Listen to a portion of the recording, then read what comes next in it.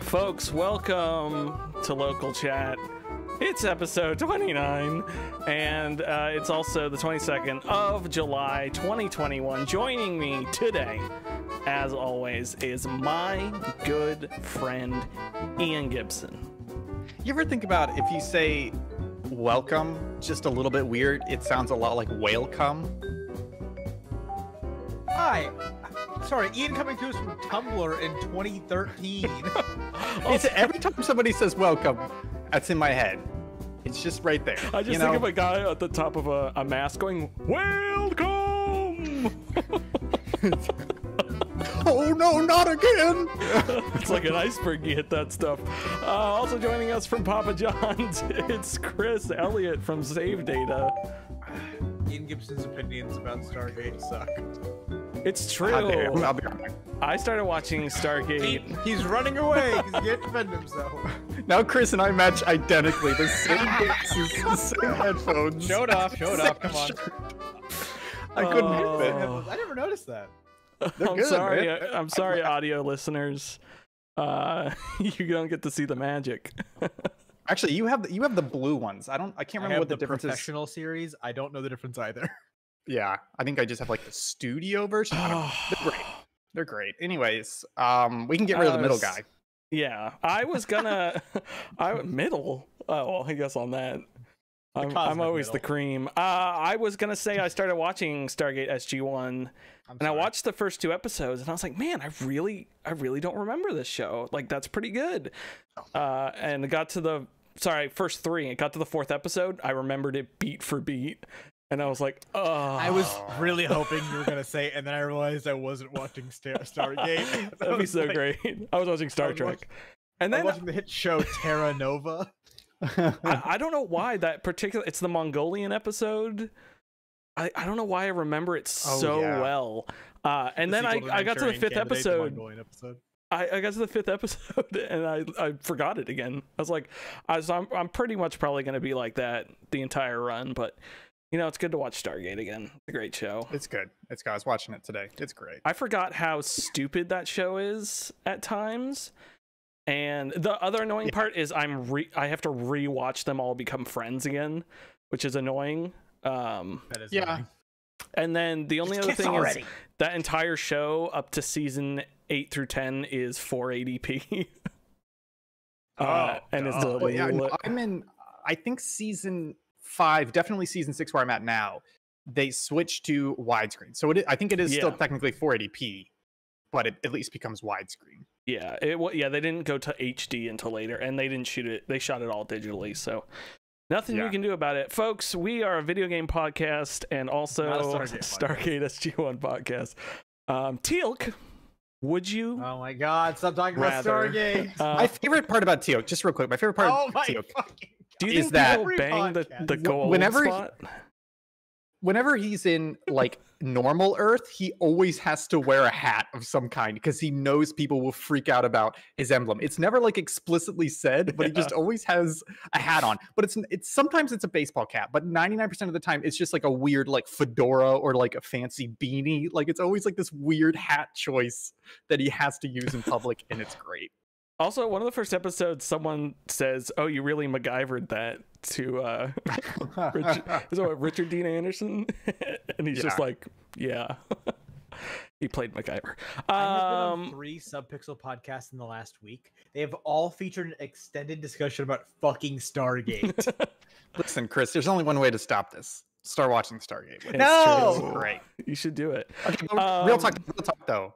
Have you have you seen it before? Slash, do you hate it? Do you just never want to watch it? Like, I want to. I want to hear your take on it. I've seen the film Stargate, and I don't remember it very well. That's unfortunate. So I, I will say this. I think the film is literally the low point of the entire series because it's too much of like it's got a little bit too much dumb action movie in it. And the series is just like, what if we did a Star Trek style TV show with like heavy, deep sci-fi, but in the Stargate world? So maybe give it to you. yeah, so That's you'll I'll love it. You'll love it. You'll I will absolutely love it. consider thinking about giving it a try. I'll take It's it. on Hulu Hey, honey, and do you want to watch Stargate SG One? Fuck yeah, I love Stargate. Yes. You've Yes! made you've made Ian Yes! Gibson and Will Crosby the happiest men on earth. Oh, I'm so happy. Uh, sorry, can I get your Oh. opinion uh, on Stargate as a whole? Well, as a whole, I'd bang it. All right, you you, you, you you- have the. It's pretty good from Vic. So Vic curses like a sailor. There you go. Um, speaking of sailors, uh, ahoy, welcome. Uh, we're gonna bounce. Welcome. welcome. that's the new. Ahoy! Ahoy! Welcome! Pixel podcast greeting. Ahoy! Can we get shirts that say ahoy, welcome? That's our first merch for local chat. Um, God Make damn it right now. um yeah you do that uh, folks we're gonna go into i have still not updated the up deck for local chat and i think of it right before the show premieres uh What's we're gonna be Jack? we're gonna talk about we're going to talk about what we've been playing. Uh, I'm going to start with. I'm going to leave the third thing on all of our lists for the end. I figured, that figured we could all talk about that. So I'm just gonna breeze through mine quick. Um, I mentioned last week I didn't want to start any heavy RPGs because I've been reading uh, a heavy fantasy book, and I not that I would get confused. I just wanted to focus on that. Anyways, whole long thing. So I was sticking to some single player games, and I fell upon Bioshock One remastered, uh, and I breezed through that over the weekend. It's a really fast game if you just go through it. Um, Yep. And I think I got all the achievements that you could while playing through. The only thing is I missed one or two audio logs, but I didn't want to look them up because that's annoying. Um, Bioshock One, shocker, fantastic video game. yeah, Um, very good. very very good i i think i might do a video on this because it's something i noticed at first i was annoyed about and then i noticed it was cool and ken levine i don't know if it's his idea but he he does the same thing in system shock 2 which is the inhabitants of rapture seem to move around as if they're Yeah. actually there so you'll go Yep. into an area and then come back out and there's people there after you cleared it and I think we're so used to modern video games that when you clear an area, it's clear. Um, so you like come back out and there's people there, and you're like, first you're like, oh, these stupid people respawned, but then you realize it's a whole new set of people, and they're just they're literally looking around, looting and stuff, just like you are. Uh, and I think that's really cool. Um, because yeah, like like I said, the first time I was annoyed, like, oh, I can't believe they respawned already, and then I kind of noticed throughout the game it just pretends these people are all here with you and they're just walking around searching things and i think that's really cool and yeah, then I, th- I think that's a that's a very interesting point. That's one of those, uh, you know, old games. Let's admit it. A lot of the, the stuff, design ideas, et cetera, mechanics are a bit outdated. But it's always funny finding those gems like that that are much better than modern games. Like for example, one of the games near the top of our rating system list, Control, has an awful implementation of that, which is just enemies randomly respawn in random areas all the time Yeah. you know and and it's it's like it doesn't feel like a lived-in world or anything like that whereas bioshock is like no we're going to make the player believe that there are roving bands of looters that they run into every now and then and that keeps the area dynamic you you never really know if it's cleared or not Yeah, and, and I remembered it's the same thing I ran into when I played through System Shock 2 last year. Is you would come back to a previous level, uh, just to go back there to find stuff, and there would be the new creepy robot lady walking around and stuff. And like the more I think about it, I'm like, yeah, these these people would just explore the ship, and even the robots in in System Shock don't do that. Like the robots patrol their areas because that's what Yeah. they would Yeah. do. But of course, all the creepy psychopaths walk around and scream, and that game is terrifying, by the way. Um, also, I, I kind of forgot how scary Bioshock is. It's like very It is. eerie, dark. Yeah. Uh, and because of that enemy respawn stuff, I don't feel safe ever. Versus like uh, a recent example, Resident Evil Village. I know I've cleared an area, so I feel safe. Where Bioshock, like I'll turn around and there's someone there, and I will will jump. Um, so I thought that was fairly interesting. so I finished that, booted up Bioshock Two, uh, and played about 15 minutes of that, and that was before I got addicted to another game that we'll talk about in a little bit. Um, so I haven't had a chance to really dive into that more, but I think I'm just gonna plow through that and then plow through Infinite again. Um, i I'm very curious for your findings, not just on Bioshock 2, but also Infinite, because for me, I played maybe an hour's worth of Bioshock 2 when it came out, and it just felt like more like Bioshock. and I was like, okay, I guess I'll just put this down because there's not really anything new or exciting in this. But I've heard since then a lot different from that. So I'm Yeah. curious. I'm not ready to play it, but I'm curious to hear your take on it. Yeah. Did you guys hear anything like that about Bioshock 2? the thing with Bioshock 2 is that it's at the in the very beginning of the game, you feel very similar to your character in Bioshock 1, but as you unlock a lot more of the big daddy powers and stuff, and you Mhm. get to feel more like a big clunky badass, you feel like a big clunky badass. Uh, which is like I understand why it's that way because it's a, a video game and you have to have power scaling, but also Yeah. it's like a big daddy should never be a pushover because they are gigantic monster monstrosities. Yeah, I, I remember. Like, I think the the lead up to Bioshock Two is cool because I remember following like the ad campaign and everything, and it was like it's essentially someone is has revived Rapture because the little girls have been missing uh, from the surface, Yeah. and you even find like. There's an audio diary I found at the beginning where this guy's like, I finally found the sunken city. I think my little girl Claire's here. Like, he found the city and came down. And then his just dead body's there with an audio log. So I think that setup's really cool. Um, and of course, it's a good design because you can just add more parts to that city that you didn't go to uh, in the first game because you didn't need to. Uh, essentially, Writing's a big step down, but that's to be Yeah, yeah. Uh, and then And Infinite. oh boy, the writing in Infinite. I remember really enjoying Yeah. Infinite, other than a couple things, but uh, I like the setting of I'm- Infinite a lot.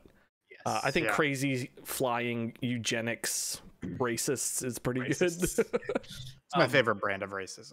yeah, I've said before. I think I genuinely think Bioshock Infinite might have the word. Sorry, the best first hour in a video game. It's very good. Very good. I Yeah. don't. I, I I do not like Bioshock Infinite. I think it's a rather poor Bioshock. It's a fine level shooter, I guess. Whatever the yeah. fuck. But like that first hour is is stunningly good. Yeah, I, I was going to mention I'm, I'm I can't wait for you to play through Bioshock Infinite, especially coming hot off one and two, because for me I felt disappointed in Bioshock Infinite because it felt like it felt like a decent Bioshock clone. It didn't feel Yeah. like the third in the series, Yeah. and, I like I have a very specific example of that where it. And correct me if I'm wrong. It's been a while. Bioshock One, you unlock upgrades for your weapon, and you're choosing. Okay, do I want to make this so for example, I think one like you can choose do I want to make this semi-automatic or do I want to make it do more damage? Like you're you're literally modifying how the weapon operates in a way. Um whereas in BioShock Infinite, you don't upgrade your weapons. You just find a machine gun and when you look at it, it's the same version as the semi-automatic weapon. It's just that it's a new weapon. And it's Yeah. just so stupid. Like like little design decisions like all over the place where it felt like they were going backwards in the Bioshock series. So, so I'm curious to hear how wrong or right I am on that because again, it's been a while since I played that, and it's been even longer since I played Bioshock. So I kind of want to revisit the Bioshock series. I have no desire to actually play them, so I'm Yeah. gonna live vicariously through The you. um yeah, the Bioshock remaster, I have it on PC and Xbox. I played on Xbox. It crashed a couple times. It had quick resume. Um, but Mhm. there's no auto saving that except when you change levels locations. So I was pretty much Oh. done with a level a couple times and it crashed. Uh, and I had to go because I wasn't saving that often just because I didn't think about it. And then towards Mhm. like the last hour of that game, I probably saved every 15 minutes. I was just like, oh please. Um, so yeah, that's uh, that's all I've really been playing. Um, Christopher.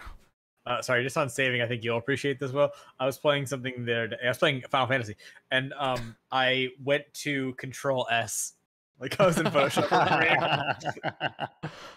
Oh, that's good. um, yes, uh, video games. I've been playing them.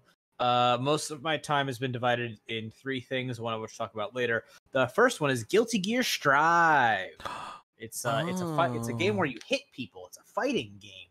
Um, it's the it's the new Guilty Gear. In case you haven't seen it, and in case if you haven't seen it, you're probably not going to care about this. But uh, the game is good. It's a good fighting game. There's some balance issues. Uh, man, I was I was watching a stream last night of Leffen, who is a uh, Smash player, just whining for three and a half hours, basically about how uh, things are unfair in a video game And It's things fighting are game unfair. community. and then and then uh well that's smash in particular and then Yeah. uh arguing with his chat that he's allowed to complain which he is but he also kept going on about it. Um, I, just, I don't care. Just, just just complain. So don't defend your need to complain. Just complain. It's fine. Yeah. um game's great. Uh soundtrack kicks ass. Um it's that perfect level of guilty gear absolute insanity. For those of you who don't know the the lore behind the guilty gear franchise is fuck fucking wild and just an insane level of character names and like backstories and like people with false identities. There's a character, there's a character named Ch- uh, Chipp Zanuff, uh, who is the president of Earth. Shut up. He's the president of Earth, actually just the president of America, but he claims all of Earth. Uh, and he is was born in Japan, America. oh, Japan, just- America? No, no, no. He was born in Japan. He was born in small town America. He was born in Japan. Oh, I see. He is the president of the world slash America. Uh, he also is a ninja that you can play as. it sounds You like can, a fighting you game. can also play as uh, the head of his secret security, who is a dope lady in a suit with a magical wolf that loves recycling, and newly announced, the Secretary of Defense. Does he fight Raiden on the top of the Bank of America in No, New York? no, Will. He's a gigantic fat man who carries around a coffin labeled Area 51. Does he Naruto run? No, he, he's big and he waddles and he swings the coffin around like Oh, a baseball I'm kind of into that. Um, uh, wow. Yeah, that game fucking rules. Fighting games are amazing. Uh, I'm glad that I have one to play that actually I'm enjoying again. Um, speaking, I mean, I don't think you guys have any input on uh, Guilty Gear. Oh, I was just gonna ask about the latest balancing patch, but I don't think I need to. There hasn't been one Why- since the game released. why It's only been out does- a month. Yeah. Why does the gear feel guilty? Okay, so the Gears are a class of people, a former civilization, a level No. of Why technology, did you do that? and that might be it. It might just be those three. oh my god. There's also the beasts, not animals. Oh, X Men. Yes. There's a character named Ramlethal. She's a lady. She's a lady who doesn't wear shoes, who floats around with two big swords and, and fights people. Is this the series with the panda? Or is that No, that's- Tekken? That's Tekken. That's and that character's name is Panda, by the way. oh, that's So you didn't wonderful. Say the pan- I mean, I guess you're You not didn't wrong. Yeah. Uh, uh, Guilty Gear's lore is the, the stupidest shit. It's so good. Um, I, I hate this. also, at the beginning of every round is heaven or hell. You decide. Let's rock. so the who goes to heaven and who goes to hell? you, you you decide. Winner's choice. oh god. Uh, and other than that, I have been playing uh, the glory of old school RuneScape, and I have made a discovery Oh. about RuneScape since the last time Uh-oh. I was on this podcast. RuneScape is the best MMO that isn't an MMO. Because here's the thing, RuneScape, technically speaking, uh, like like yes, it is an MMO. It, it really is. But the big thing about RuneScape and like something that I am doing currently is I'm playing an Iron Man account. An Iron Man account is a special kind of account in RuneScape. You can make it; it's officially supported by the company. Um, where you are forbidden from trading with other players. You cannot take part in the player economy, among other things. But that's the main limitation. Which means all of your resources, your your your stone, your wood, whatever the fuck, you have to go get it yourself. You can't just you know throw money at your problem Oh, that's cool. um and it it has made me realize something like as i've progressed decently i'm pretty like i this i've i've honestly played this count very efficiently and it's gotten it like the levels my levels are up there Ooh. um i i have sort of come to the realization that some one of the reasons that runescape works so well as an experience that like i can play this and talk about it and annoy my friends because they don't, who don't want to hear about runescape um, but I still get the full experience of playing an MMO because this one was designed with the grim reality in mind that your friends will eventually grow tired of an MMO and quit it. and they've prepared for that by making it Oh, boy. making it a game that is accessible as a singular experience, which I think is while a little That's good. sad and nihilistic is brilliant and it really speaks to the fact that like this game is very very well designed and people who have people who hate RuneScape, and there's plenty of reasons to hate RuneScape. There's plenty of reasons to hate any video game, but peop most people that hate RuneScape hate it because they've grown comfortable in the fact of they hated it always because they were WoW players. They hate it because it's an old, bad-looking video game, um, or they just like it's. I stopped playing RuneScape, therefore it must not be good, and uh, that line of thinking is let nihilistic, lame bullshit, and uh, grow the fuck up accept that things reality can change, including video games being good. Fuck you, Ian Gibson. Wow. I didn't hate on RuneScape. Though. I just Plenty assume you hate hate every on video game that I talk about. I actually kind of I enjoyed RuneScape. It was a little bit too old for me to Mhm. jump into and enjoy, but I, I, I, have said that do before. I think I said it it. on this podcast. You have to have a Yeah. level of nostalgia for it, and like I understand that. Although I will say that like I, I'm not certain that's the case, but it definitely helps a lot. Yeah. lot. Great. Uh, you every time you br- talk about RuneScape, it makes me want to dive back in uh, again. It's, um, it's it's a thing where it's like it's a game that like because I can play it on my second monitor while I'm doing other things, including working. I have no qualms about saying that it doesn't take it doesn't take away from my efficiency. If anything, I think it makes me more efficient. That's not a joke. um, uh, it like it helps because I can just like oh I'm I'm doing I'm progressing in two places at once. Serotonin, serotonin. um, great. Uh, Ian, were you about to Yeah. leave? No, I, my my headphone was making creaking noises. I think it's a little bit a little weird.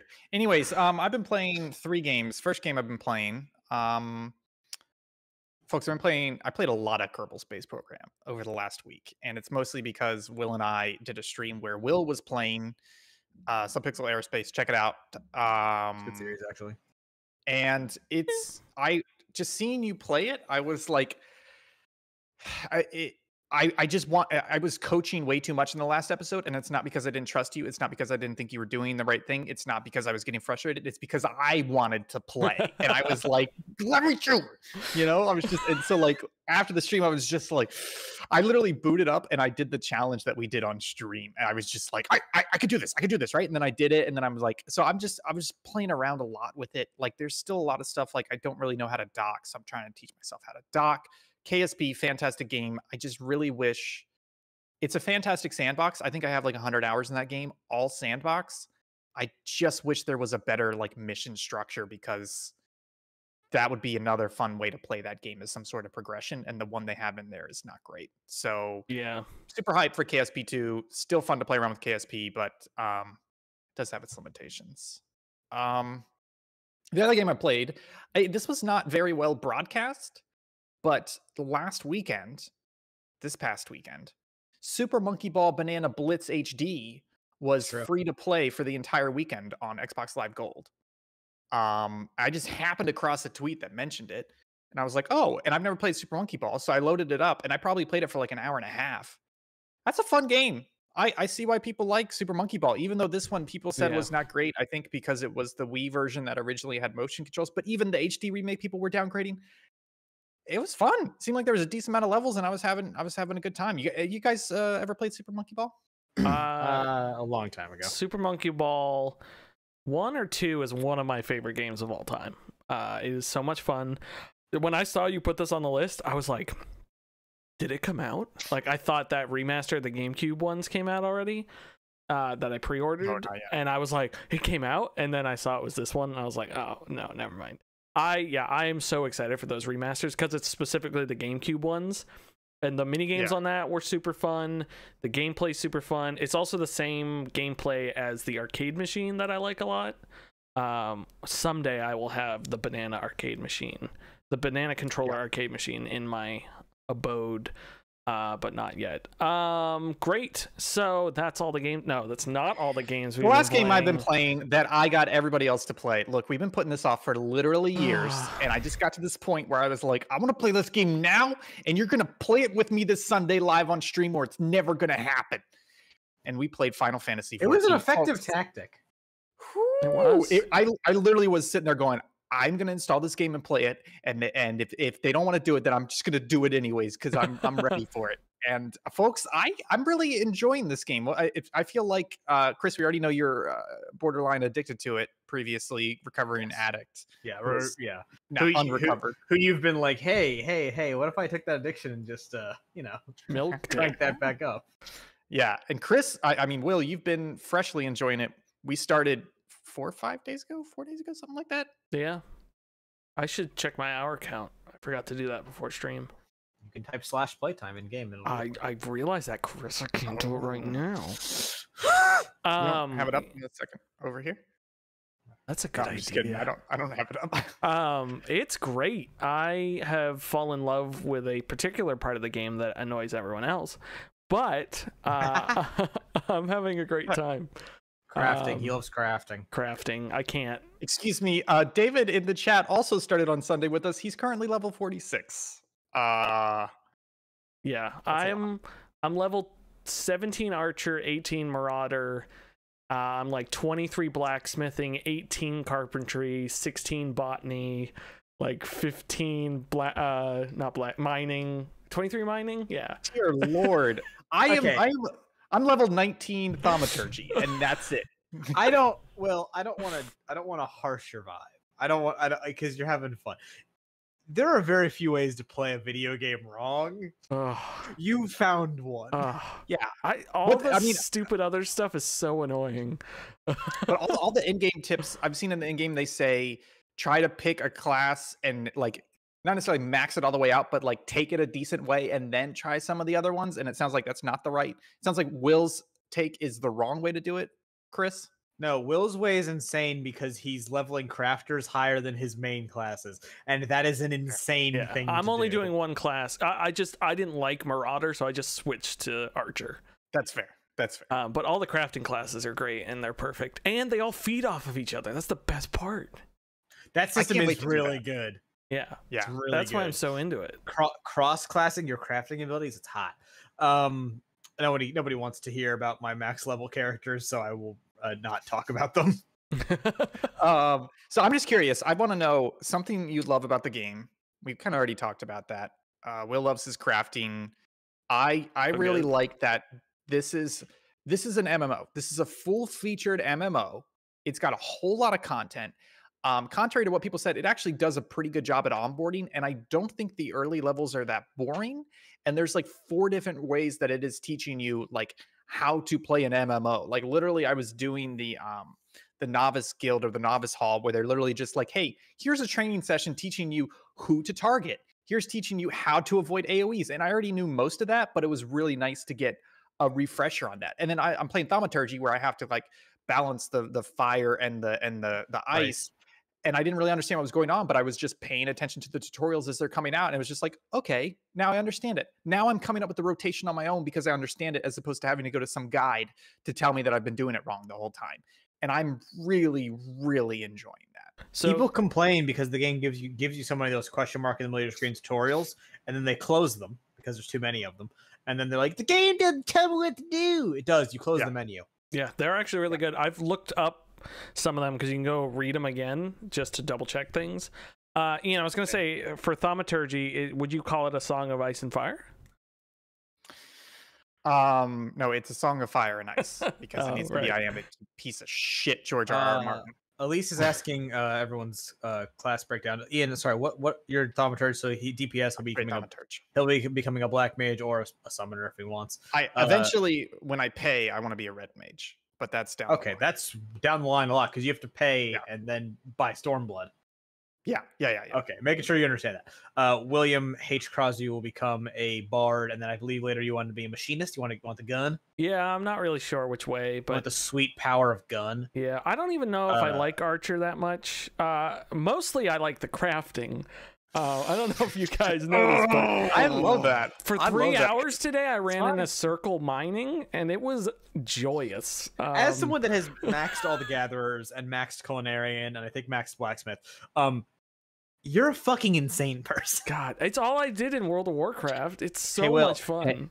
Hey, Will, when you get to Stormblood, you can fish underwater. How does it even work? Do I cast into air? Don't worry about it. I, I'm really when you get excited. I'm really excited to get into the crafting because I it's not just that I love good crafting systems. I also love leveling up and I also love the idea of I mean, I don't know if this is fully possible, but I love the idea of like having a character that is wearing great armor that you built yourself and heads into to battle and it's not just like, "Hey, here's a potion I bought." It's just like, "I made this potion and I'm going to drink it and mess you up, boy." Ian, you know, like Ian, oh, I'm going. so I'm good. gonna. I'm gonna. f- I'm gonna fuck your whole world up right now. When Yeah. you get to raiding, yeah. the best possible scenario when a new raid drops is that you are wearing gear you made yourself, with food you made yourself, with potions you made yourself. Because all of the food and potions late game that you buy from stores are way the fuck below where you need them to be. And right when a raid drops, Mhm. the best gear will be that raids, obviously, but one tick below that will be the highest Custom. level gear you can make yourself with max Yeah. crafters and See, I. I love that. I love that because it's one thing to like loot and up your level and, and do the whole gear lottery to get better, better, better gear. But it's another thing to be like, no, I put the effort into this gear. Yo, also when like when you hit max level, it'll be like all the gear you get from progression, like doing dungeons and shit. Uh, Yeah. the gear of whatever the ti highest trial or sometimes smaller raid does, and then above them are the like top raid gear and then the top shit you can build. Yeah, that's that's that sounds fantastic. Yeah, so I'm excited to And do then that. a, a new expansion comes out and immediately outclasses everything you're wearing. Yeah. So I do I do want to switch a little bit, which is to say we need to talk about this game's not perfect, and I think we should do due diligence to talk about some things that are not great about it. And I think for me, the number one thing is this is going to sound obvious, but quite frankly, it's a completely valid criticism.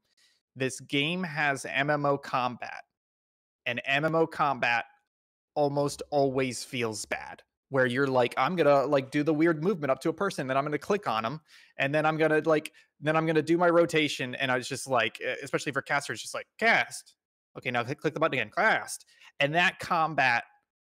It's not their fault. That's the standard MMO combat, but I hate that combat. It doesn't feel good, right? Like except when you get the rotation just right. But even then, it's like it's like a cherry on top of a pile of shit. You know what I mean? Am I crazy here? Um, you're dealing with a couple of things. First off, is that a- across the board, all classes had parts of their kit yanked out as they added more levels and more expansions in order to keep you with not having 58 buttons to click.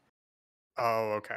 Yeah. So like when I when I when I booted up and we started playing again, I went on to one of one of my max level uh, classes, uh, warrior, and like four or five of my buttons were grayed out with a slash through because they had been removed.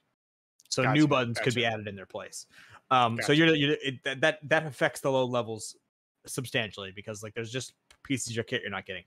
But it is in the impetus of the MMO to create a loop and a uh, rotation for each class that is different enough feeling and Mhm. makes you want to continue to play it.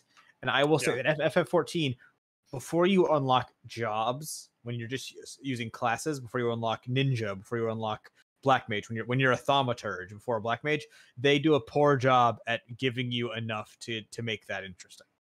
Yeah, yeah, and I think I think uh, you know I played some MMOs before, so I feel like the combat gets good when you when you start to understand the rotation and you have a, an excessive rotation, et cetera, and you have some interesting enemies.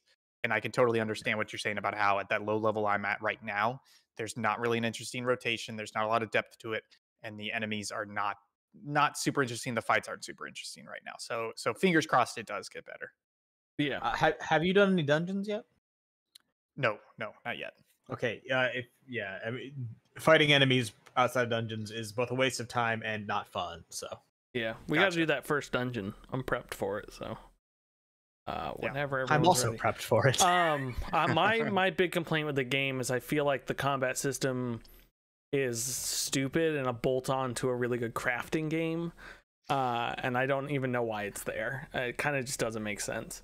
Um, yeah, it's weird. Um, Go Shall we move on? Go play RuneScape. I'm not even joking anymore. Go play RuneScape. oh no, this is Yeah. this crafting is better than RuneScape. Um, yeah, uh, folks, we're gonna move on to my favorite section of the show, the news, which means I get to play the one and only news theme. Uh, make sure everything's turned up and unmuted. Here we go. Time for the news.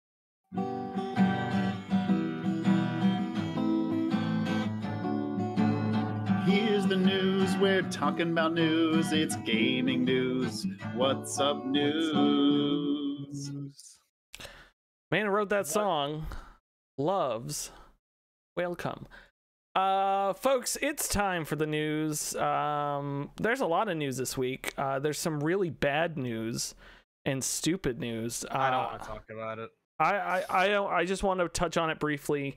Uh, people know our stance on please be nice to people, um, and just uh, I'm just gonna go through it quickly here. Uh, California suing Activision Blizzard for their horrible workplace culture. There was a two-year investigation of this, um, including some really bad things that I'm not going to mention on the show uh, because I don't want to. They don't make me happy. Um, you can read all about this. Uh, we specifically has have this Bloomberg article linked. Uh, you can go look it up. Some truly horrible stuff, and I hope they get everything that's coming to them.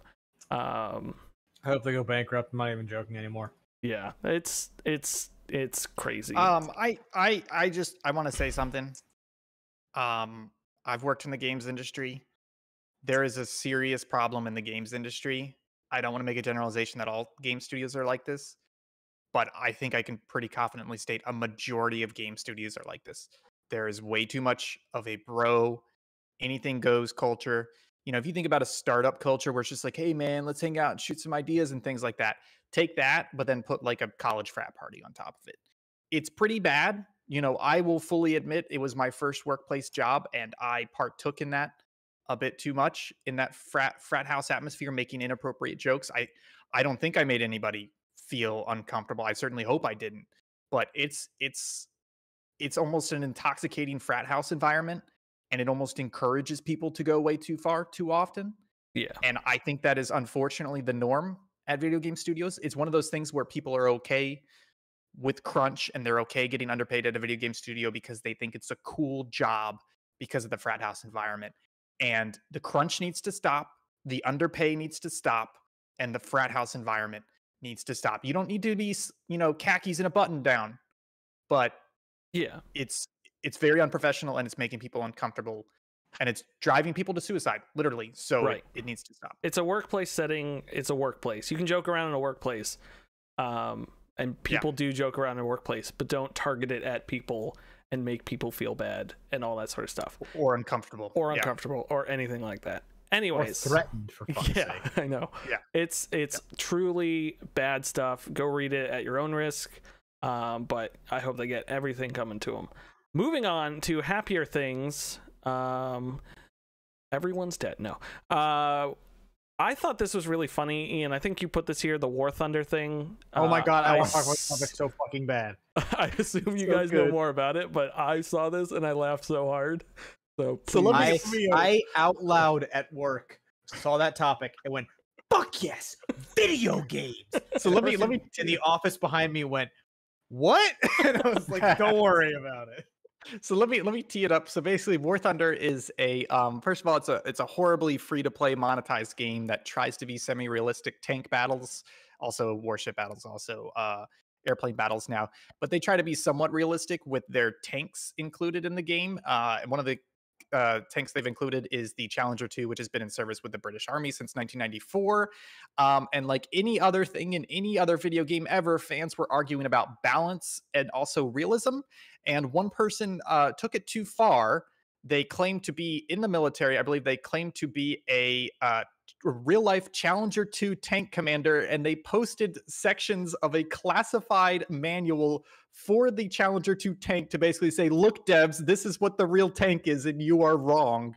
And they had to they had to ban them and reach out to the UK defense and basically say, "Hey, we think this guy's posting UK classified documents just to just to win a video game argument," which is hilarious. that's If you don't like this this topic, there is no joy left in your life. It's amazing. This is the opposite of Yeah. what we just talked about. This is It's so- video game at its finest. it's it's just like nobody. This guy believes you can win an argument on the internet, which is an insane thing to believe. Um, you cannot Yeah. win an argument on the internet; it's undoable. Um, but then like he just du- he he doubled down and then never stopped doubling down. Yeah. He's like, I I'd rather go to jail for war crimes than be wrong. Yeah, God, that's It- so it's good. it's like um slightly related story. This happened back in 2019.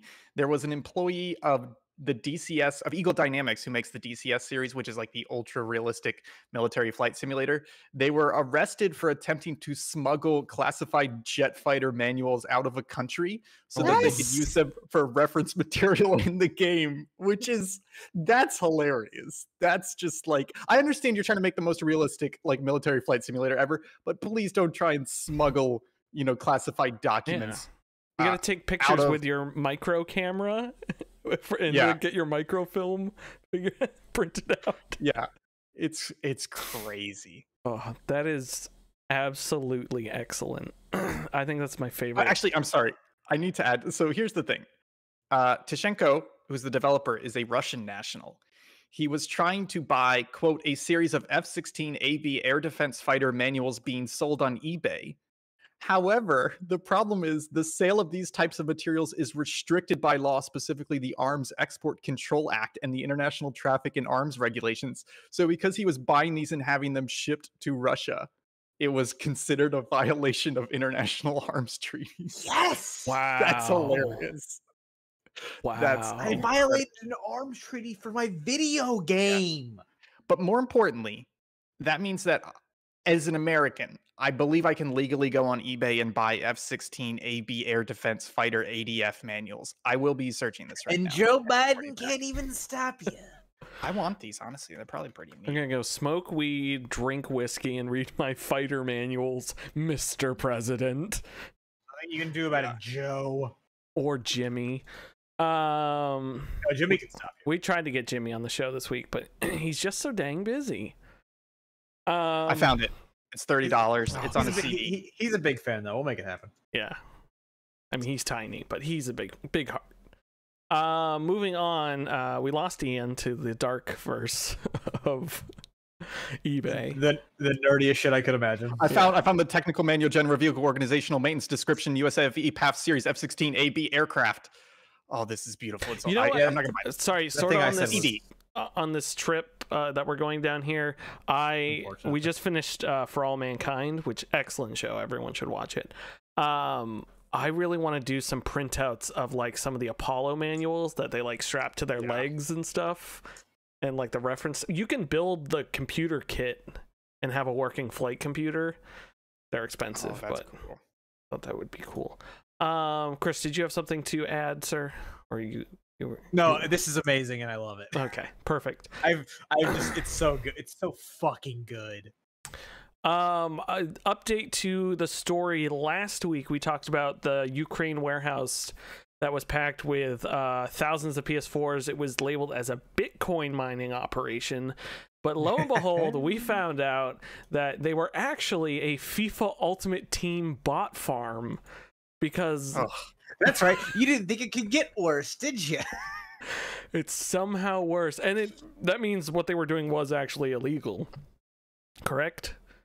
Because they were, I guess, is it illegal to It's against, it's against uh the FIFA games as terms of service. Yeah, I guess that's true. Unless they had So- four thousand so people with different accounts. Yeah. Um, you guys employ four, employ four thousand people to sit at home. I hate that they're called foot coins. That's gross. No, they're- that's not. Is it real. F U F U T? FUT. What's going? Oh, because it's it's also it's it's it's football universal team, right? Ultimate team. Ugh. Football ultimate team. Foot coins are gross. It's either foot coin or foot coin. Either way, not great. We should we should get into the Oh. foot coin market, guys. Um. Wow. We're gonna get them a wiki foot. Wiki foot. That's very good. That's what they're where all the cards are. Um. It says they also found 500 video cards, 50 processors, draft documentation on electronic consumption. Draft I documentation. don't know. Uh, Finally. I mean, this is a part of a huge problem, which is the FIFA Ultimate Team black market stuff. I mean, they've been talking about this. That was that that employee was selling stuff too a while back, right? He he made Yeah. allegedly millions of dollars selling stuff. Yeah. Yep. Allegedly. Yeah, that's crazy. Um, yeah, I just wanted to update everyone on that because I think that's Because it rules. this picture is so good with this guy's blurred out face. Ugh. It's I mean, it just looks like a hydroponics farm, but it's PS4s. Yes. It must be so hot in there. And it smells like like foot. And one guy's playing God of War or something. That guy's playing Galaga. Hey, nice Avengers reference. Thanks, I watched it recently. Um, Next news story. I, I real quick about the Steam Deck pre-order numbers. Did either of you look at this story? No, I don't no. care. Okay, let's play. Let's play a little game. So basically, somebody found out that um, they can peer at the HTML behind the Steam webpage and get an idea of how many people have pre-ordered the Steam Deck. Um, which uh, I believe this is this this. I think this is maybe the day after that they got these numbers.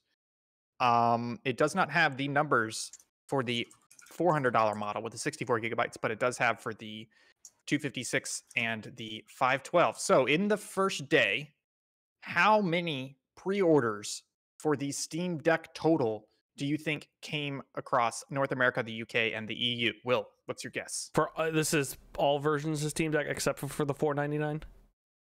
Uh, except for the except for the base 400. The base 400. Uh, I will say 350,000. Is that too Chris, many or too low? That's too many, my man. Um, slap me down for 69,000. Uh, correct answer is uh, over 110,000 I wasn't that in the off. first day. I, I think you're My- you, you my- would like my Nintendo gen- numbers. My you genuine that's guess was was seventy thousand. So I just Yeah. went down one because I, I I was gonna seventy five. I was like that's too many. I'm shocked that it's uh one hundred ten thousand. That's buck wild. Yeah. So that is 71,000 for the 512 gigabyte, which is the top model. Um, and 33,000 uh, of those were the 265 gigabyte model. I'm just going to assume that the lower version probably had another 20. So let's say about 130,000 pre orders on that first day. That's honestly, that's a lot higher than I was expecting because even when you think about the Vive, even when you think about the Steam Link, there was not a lot of enthusiasm and that kind of rolls into this release. So I've seen a lot of people pre-ordering uh, and posting it on Twitter, and I mean, this is kind of crazy. What's your what's your guys' take on that? What what's your take on the Steam Deck fan reaction and pre-order reaction? Um, I think people's reaction of this is sort of a tangent, but people's reaction of oh Nintendo you effed up, all that sort of stuff is kind of pointed wrong. Uh, I think I think it's good Valve is entering this competition space, but I don't think it affects Nintendo really at all. Um, uh, that aside, I think Yeah. this thing looks really cool. I definitely want to check it out. Um, I'd be interested in getting one eventually. Uh, I have no use for one right now. Um, but uh, I think it's neat. I think they're. I like that Valve's trying trying new stuff. Yep.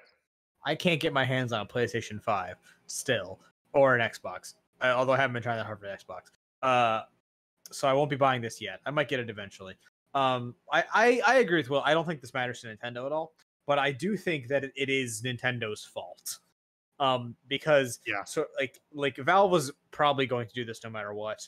Um, but uh, Nintendo's hesitance to say, "Hey, we're making a Switch Pro," and Nintendo's lack of like like everyone everyone is so confident they're making one, but they just keep saying no. Uh, but everyone like there's just such such confidence across the entire industry that I think people there's there's probably a lot of people that have debated buying a Switch or another Switch or whatever the fuck it is, and are like, no, I'll wait. And then this finally comes out, and they're like, well, I was waiting anyway. Yeah. Yeah. Plus, plus, we talked about how if And this thing also plays Stardew Valley, so what's what else do you need a Yeah. Switch for? It's true. we, we talked about how if you don't have a gaming PC and you don't have a lot of money, it I honestly I would argue it makes a lot more sense to buy a five hundred dollar Steam Deck than it does to try and build a budget gaming PC plus monitor for five hundred dollars. We said the same thing on uh or on the monitor. Yeah. But that's a good that's a good segue into uh, another story, which is very very rare and surprising statement from the Nintendo Company Li- Limited official Twitter account. I'm gonna Yeah. I'm gonna tweet this. I'm, I'm gonna quote this directly. Okay, ready? Quote: A news report on July 15th, 2020, JST, uh, which I guess is Japanese Standard Time, claimed that the profit margin of the Nintendo Switch OLED model would increase compared to the Nintendo Switch. To ensure correct understanding among our investors and customers, we want to make clear that the claim is incorrect. We also want to clarify that we just announced the Nintendo Switch OLED model will launch in October 2021, and we have no plans for launching any other model at this time. That's a bit crazy for them to come out and just clearly state it. Yes. So this tweet is weird. It's weird Yeah. as fuck because they never tweet official like they they don't like this this account does not get like used much. Ever. Yeah. Uh and yeah, when it tweets it, it's always in Japanese and it's always, you know, very like serious and all stuff like that. This it's just so bizarre. And I think that like people are talking less about the Switch Switch Pro because the OLED model, but then as soon as you say this, everyone's like, "Well, that's weird." It, it, it. Why do they feel the need to deny it so bad? Yeah. I know that sounds very conspiracy theorist and like, what are they hiding? But it's it is very weird. I think I think it- they I think they kind of said it in there. Said investors. I think they're worried about investors getting their hopes up and thinking, oh, there's going to be a lot more profit coming because there's a higher markup on the uh, on the OLED model, and they've got a new uh, Switch Pro coming, you know, next year, and it's going to kill. And I think this is them kind of get ahead of it, saying, whoa, whoa, whoa, don't ramp up your projections Yeah. and expect too much from us. You know, And is Ke- that because the, the, the the Switch Pro might not make next year? Uh, I think it's. I, I'm going to take them at their word. It's because they do not have a Switch Pro planned at this point in time. Yeah, they, They only just have don't the have Switch one. 2 plan. So I mean, I at mean- some point, will that's that is the case. I mean, they, uh, but they specifically said we have no more Nintendo Switch models. they said, "quote We time- have have quote have no plans for launching any, Any other, other model, model. at this time." So Switch 2 wouldn't be a model of the Switch 1. So that that's yeah. technically true. They could just go Could to the be. next console. yeah, but I, I, But again, I- I, I don't think that's. I, this how many- this how many- seems like a legal thing, somewhat. Like they had like a It, ha- it has, disclosure. it has big legalese um, energy. as Yeah, someone who's I think been, they're, I think they're trying to. I think they're worried the rumors are are getting the investors too hyped, and they're stepping in front of it, saying these rumors are false. Yeah. you know. The um, corporate streams I've been working on, every single one of them either has a disclosure slide at the beginning or, hey, go to this website. Because when you're interviewing people candidly about stocks, you can't. Yeah. You can't take any of those risks. Um, even to a point where this guy was saying, uh, they were saying, hey, don't email me about that. Call me. Because if you email me, we have to file to the FCC. Uh, so he said, Oh. call me and tell me. Don't email it to me. Otherwise, That's- they have to do that. And not in a nefarious way, but he's just like, Yeah. yeah. if you email me, I have to go file it with the FCC or something. It's which more I inconvenient for literally everyone. yeah, Yeah. which is just funny. Um, anyways, uh, I yeah, I think that's interesting. I'm you know I'm happy with my Switch. I'm not paw. I'm not. I mean, yes, it's showing its age. I'm not. I'm not crazy waiting for the next thing from Nintendo or whatever they're doing. It'd be nice to have it. It'd be cool, but I I'm Mhm. not in that camp of like, oh please Nintendo, please announce something, um, because I Yeah. just I really don't care. I, I I, am in for the me- camp of like I was waiting for a Super Switch, so I wasn't like, because like in theory it'd be very convenient for me to have two Switches, one for me, one for Victoria. But like, in, I guess I, I mean, I guess I just won't. I guess I'm just waiting for the next console at this point. Because fuck it. What year was Switch? 2017. 2017, 17. Yeah, because I was still in college. Um, yeah, I mean, like, I mean, four years is really not a lot, but Nintendo doesn't play by any fucking rules.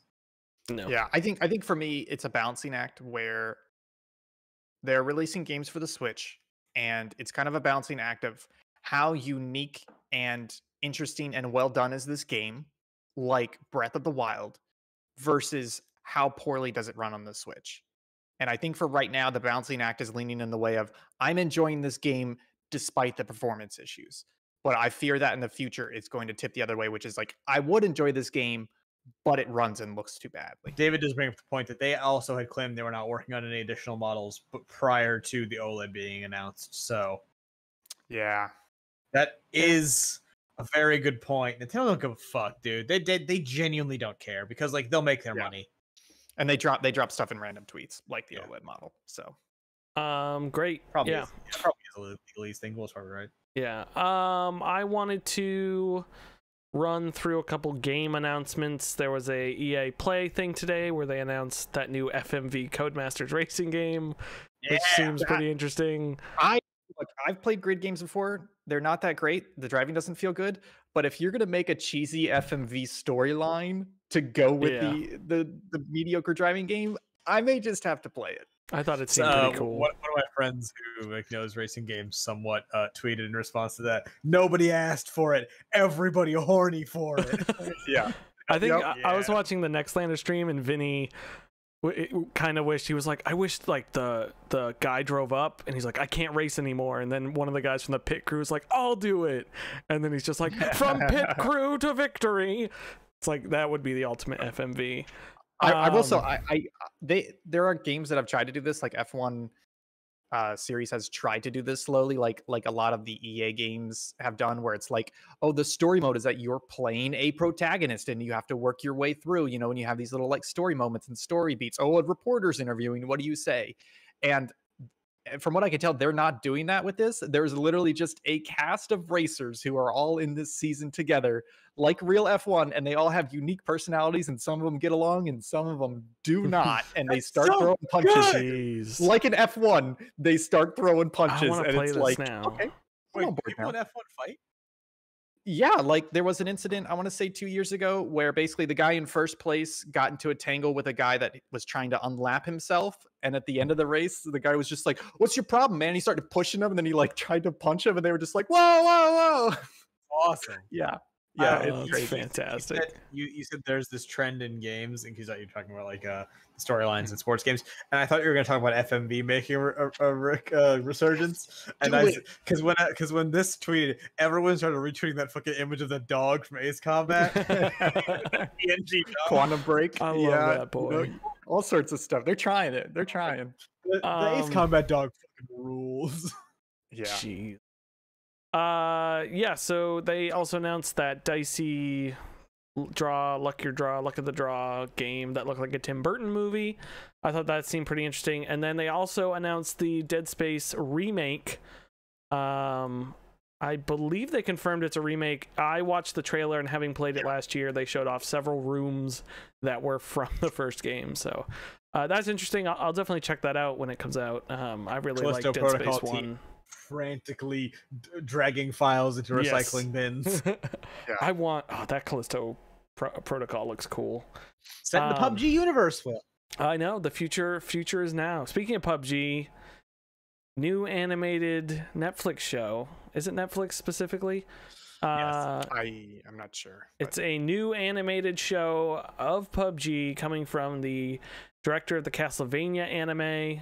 Um, listen, I watched the first, almost first season of that Castlevania show. It was pretty good. Yes. This one is the uh, Um, different case of nobody asked for it, nobody horny for it. What? Why is it saying the gray?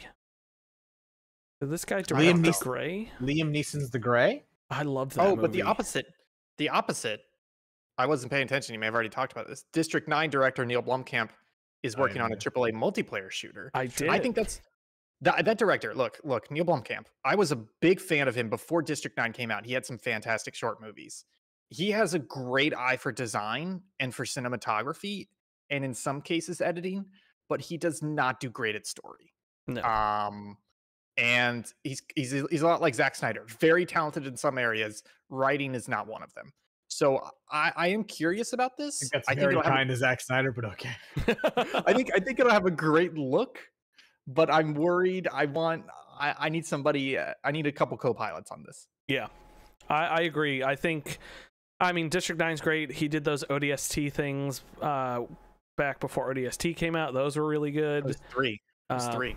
Was it three? Yeah, because they were yeah, they were oh, trying to you're track Master. Chief when he's coming into land and Yeah. God, the freak, Oh, man. wait, wait, that was that was the District Nine guy. Yeah. that was Neil Blomkamp. It was Blomkamp so did Oh my god! Yeah, those, Uh, are so good. are So really good. good. Um, so Oh, I it- fucking love District yeah, Nine. so uh, I'm- I'm District 9 is it. Can we- incredible. I'm sorry, just time out. Can we pause the podcast real quick and just watch that 10 minutes real quick? Because it is No, so I don't have time for that. It's Incredible. Um, District 9's great. Elysium, uh, and I never saw Chappie or. Didn't he have a new one? No, I, he had a bunch of short stuff. Uh, wasn't. I didn't watch Chappie. Actually I think Elysium's pretty good. Uh, uh, yeah, Elysium's pretty good, but I like the the. It's no District the- District I like the ass. dichotomy Yeah. of uh, Elysium is cool. It's kind of it's it's up there with Snowpiercer. It's just Di- dumb District enough Nine to was work. a movie that came out where I was like, I've never seen a movie like this. It is Yeah, yeah. doing things I didn't know movies were allowed Yeah. to do. Yeah, District, District 9, just to be clear, District 9 still has flaws, but it's so good that you forget the flaws. Like halfway through the movie, they just completely drop the documentary format. Yeah, yeah, yeah, and it's just it like- becomes an action movie, and it Yeah. still Yeah. fucking rules. And it's still really good, but I want to go can't watch look too District closely. Nine now. that movie's so fucking. Yeah. Ah, it's so There, good. there, there's like a there was like a discourse in like the film community. I talked about this in the SaveData Discord. Um, when that movie came out, people were like, "Why is this? Well, it's so weird that it would that they would do this in Johannesburg, and it's unrealistic that the aliens would go to Johannesburg. Why wouldn't they go to New York or London? Because fucking aliens give a shit about what Yeah, they don't care. which city on earth is the coolest. Um, but uh, yeah, it's just fucking. ah, it's it's just not Oh, so so good. So good. Yeah. Um, but uh, to talk about the uh, the the PUBG thing real fast. Um, sorry, you. ma- This is by the guy that did the Grey. Because if, No, if so, that actually makes me a little no, more it, it said something about the grey. That's why I was confused. he like well, a i- if, if he screenwriter on also did the Grey, that actually makes me a little more interested because like that is, I mean, that is like movie about surviving the wilderness. It's also my number one way to die. It's a pretty good. That that ending of that movie is good. That is, I've said before, that's the way it, I would prefer to die. I would Uh, prefer to die fighting a pack of wolves, taking down a couple of them, and then being mauled by the rest. He was because that- executive that- producer on the grey. That is the full human experience. You die a cold, alone, and afraid. Wow, was- this guy, this guy's got some hits. Also, uh, he was on Killing Them Softly. I'm not sure what his role on that was, but also Executive Dredd. producer. Karl Urban. Ooh. This guy's got. This guy knows what he's doing. yeah, I mean, he's, I already he's knew that. from executive Castlevania, producer on but- all these. Okay, I'm, okay, I'm on his he's- he's- IMDb page. Well, why. honestly, that I mean that means that shows me like with at least Dredd, like he has some and Castlevania, he has a decent amount of like proclivity in taking it's, hard to be some an nerd executive shit and producer. turning it into cool stuff. Yep. Yeah. Um, yeah, I- I always get upset when they regulate certain people to executive producer because you're like, just because you're a good director doesn't mean you know what you're doing. Like, yeah, I've met some awful executive director or uh, producers. That's the thing where it's like half when you see EP, EP names on on shit, half of them didn't do ever, anything, and half of them did fucking so much bullshit. Yeah. Yeah. Um sweet. Uh finally, what else we got here? Um oh, that, that was leading up to they announced that Tom Clancy's XDefiant game that looks meh and I I think the game looks good. I just don't like the punk cyberpunk weird gameplay of it. I think that's a little stupid for a Tom Clancy thing. It Like why put terrible. I Tom mean, it- Clancy on it? It's it's not Tom Clancy at all. It's Yeah. it's. Ugh. I don't know why they drew that. Anyways, um is there do you That want to talk about this show with Michael B. blockchain? Jordan. No, Uh, it's just um, IGDA, which is the International Game Developers Association, basically came together. They put out a statement saying, "Hey, we should stop all blockchain activity in games that includes uh, cryptocurrency, that includes NFTs or any other use of the blockchain, because essentially the argument is that the blockchain, the way it works, is the chain always has to be up. It gets larger and larger with more transactions, and that just ends up soaking up a lot of energy usage for literally sustenance. It's it's kind of like a bank ledger that has to be plugged into the wall 24 7 and the more transactions that go in the bank ledger the more power hungry it gets Yeah. that's not a bad analogy That's pretty Yeah. good. Uh, and then in other news, Skull and Bones still not out. So Skull uh, and bones. Skull and bones. Talking about skull and bones. It's too big to fail. I fucking love everything to do with this game. It's never coming out. I I'm gonna watch the fucking show. I'm gonna I'm gonna give a weekly write up on it. I'm so hyped for Skull and Bones to fail. we should have done a Skull and Bones podcast. Which, which, Skull and search- Bones searching for Skull and Bones. Skull and Boners. where skull win Well, bones Well, we can still start that. No news has come out since. I know. Welcome. this is the news this is the news Um, that's a good idea. up We should do. it's gaming news. Um, I I think that's it for news. There was also the Tencent stuff, but I really don't care about it. yeah I don't give a shit. Um, folks, which means we're moving into the final section of this show, which means we get to pick games for the subpixel rating system. I'm going first because I didn't get to last time, Yeah. and I'm stuck between two games. And do we want a good game or a good game or a bad game? Well, Okay, well let's let's look at we got 41 games on the list. The middle of the list is Shadow of the Colossus, which means the perfect five is Shadow of the Colossus or Star Wars Battlefront. I think we need a bad game. I genuinely forgot this was part of y'all's podcast. Yeah. Should we read down the list? Oh yeah. Let me read the Uh, list. Could you send me the list? Yes. I got that. I got that. If you want to. Read. Cool. Number one, Outer Wilds. Number two, Yakuza Zero. Number three, The Legend of Zelda: Breath of the Wild. Number four, Kingdom Hearts 2. Number five, Titanfall 2. Number six, Factorio. Seven, Doom 1993. Eight, Animal Crossing. Nine, Half Life. 10 a Star Wars Knights of the Old Republic 11 Red Dead Redemption 12 Firewatch 13 Mirror's Edge 14 Ghost of Tsushima 15 Control 16 Kerbal Space Program 17 Mass Effect 2 18 Cuphead 19 Prey 2017 20 Shadow of the Colossus 21 Star Wars Battlefront 2004 22 Mario Tennis 23 Grand Theft Auto 5 24 Horizon Zero Dawn 25 Battlefield 1943 26 Middle Dash Earth colon Shadow of Mordor 27 The Outer Worlds 28 Death Stranding 29 Gone Home 30 Halo 4 31 Fallout 4 32 No Man's Sky 33 Daisy 34 Mario Party 9 35 Donkey Kong 64 36 Watch Dogs Legion 37 Ghost Recon Wildlands 38 Brink 39 Kingdom Hearts 3 40 Cyberpunk 2077 41 Worst game of all time according to Subpixels Big Rigs Over the Road Racing Hey, I think your list has gotten too bloated. We're getting to 50 Still pretty good. It's still pretty good. getting to 50 Um, uh I'm glad. I'm glad that Elise nominated a genuinely good game. Um, the statement that Breath of the Wild is a better game than Kingdom Hearts 2 is one of the most insane things I think that has ever been said. I know Chris famously doesn't like Legend of Zelda Breath of the Wild. Yeah, sure. Let's go with that thing, and not the fact that Kingdom Hearts 2 is are is inarguably one of the best games of all time. Uh, I'd have to play it. Uh, exactly. Ian, in I don't want to see your face. Have you beaten Kingdom Hearts 2? I played 10 hours of Kingdom Hearts. Yeah, Hearts. shut the fuck up. was Awful. You Uh, played Yakuza 10 hours Zero. Kingdom Hearts We can get 3? Outer Wilds at a number one. It's not number one. It's it's lower. Outer Wilds is lower. Needs to Wait, be lower. I'm sorry. I'm sorry. I'm sorry. Is your argument that Kingdom Hearts 2 can't be that good because Kingdom Hearts 3 is bad? I was on the podcast last week. Elise made a very fantastic Oh, argument. no, no. I just, I just need to make sure that you weren't under the impression that Yeah. two and three are. Neither of us had played t- No, no, two, no, no. and Okay, Elise okay, was so diehard about it. She convinced us it was number Is- four. I'll tell you this, just so we can get off the topic. She convinced me because she was saying all these things that are amazing, and in my head, I'm going, "Well, that was awful in Kingdom Hearts 3." And so the whole by the end of it, I was going, "What if Kingdom Hearts 3? All the things I hated about it were actually good?" And I was like, "Well, then it would have been a great game." Hey, You know, and that's very uh, convincing. Imagine all those things in Kingdom Hearts 3 that are terrible, uh, that were good in Cage 2, You also waited 13 and a half years for. That's why it's near the bottom. Ian, are we Oh, gonna do? hate. Ian, we should do a Kingdom Hearts two let's play. my Um, first Kingdom My Hearts. first Kingdom Hearts two. I already did that. I already did that. It was awful. No, you did three, and you didn't do anything. so Yeah. shut Oh. I did a video. No, There was there's no a video. Yeah, no, I did the video. I did. It was a spotlight, Oh, yeah, basically yeah, insulting yeah. Kingdom Hearts fans. But you never used the Great Mario thumbnail There's a thumbnail. I've seen it. or Mario, uh, Mickey Mouse. Um, Mickey okay, I if if that's the case, I got to think of a bad game. I had two good games. Um, I can go, yeah, you go. folks. We need to talk about Red Dead Redemption 2. Ugh. Look, um, I enjoyed Red Dead Redemption. I actually played it. I want to say like 2015 or 2016, um, and which was a couple years late, but I I still really enjoyed it.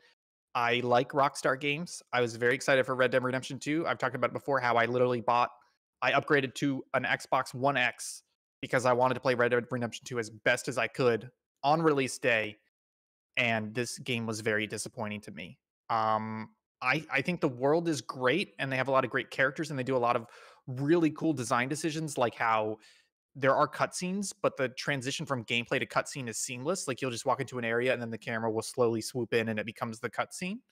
Um, there's a lot of great like NPC actions around. There, the environment's great. I feel like I've already said that, but combat never feels amazing in Rockstar. It feels serviceable, but it never feels amazing. Same in Red Dead Redemption 2. Their mission structure, which is a lot of just like, I don't want to say generic, but it feels like ho hum set pieces where it's just a checklist. It's like, hey, go over here and do this. Okay, now uh hop on the train. Okay, now do this, kill these wave of enemies. Okay, now do this. It feels awful, especially in a sandbox game. You know, um, I, I had a similar experience to Ben Pack on giant bomb, like literally the exact same experience as him, which is there's a mission, and at the beginning of the mission, they say, go buy a sniper rifle. And you go to Valentine and you buy a sniper rifle and you That's walk out of the early store. in the game. But yeah, eh, but you walk out of the store and and then enemies attack you and you are standing next to a building with a ladder on it and you go, "Great. I'm going to climb this ladder to the top of this building and I'm going to shoot them." And as soon as you start to climb the ladder, it fails you for the mission and it says you have gone out of the mission area. And they expect you to just treat it like a normal combat in the streets, like a generic, very confined action set piece. And it's so frustrating in this game because they have made an incredible sandbox, but every time you try and do story content, it feels like they are just not utilizing the sandbox well enough. They're constricting you and confining you.